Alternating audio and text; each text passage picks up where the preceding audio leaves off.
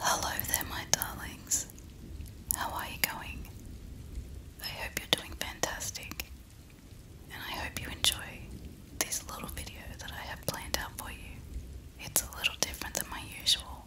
I hope you enjoy it, so get comfortable, put on some headphones, and crawl under those blankets.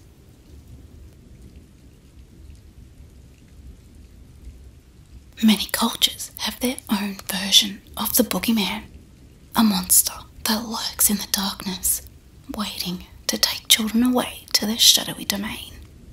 The weird thing is, sometimes kids see it before they even hear the stories about them. They feel the presence of something in their room, sometimes just outside their door, or at the far end of a dark hallway. It is quite probable that the monster actually evolved as a survival technique, dating back to times when humans were tribal dwelling folk. If a small child wandered away from the camp, especially at night, chances are it would never be seen again.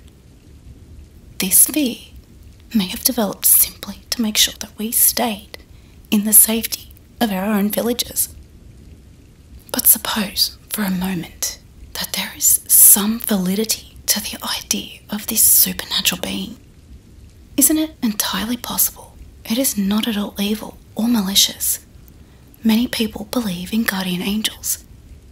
How do we know?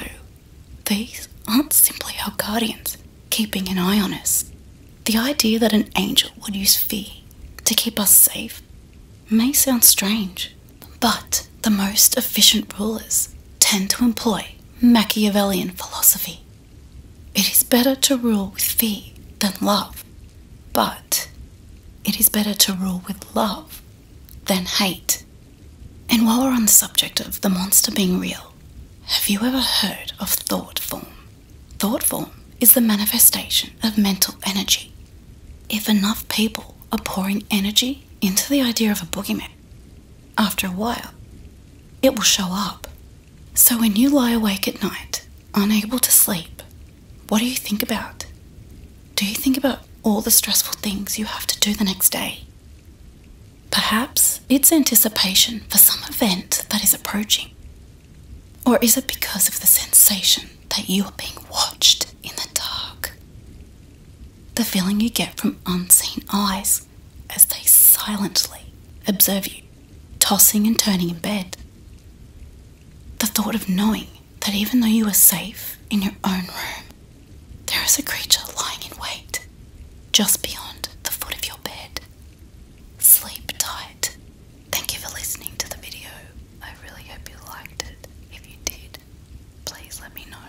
And even if you didn't like it, I'd really appreciate that too because then I'll never do it again. And that'll be okay. You just say no in the comments and I won't do it again. I hope that my voice has really relaxed you much better now. And hopefully, hopefully you'll see me in your nightmares.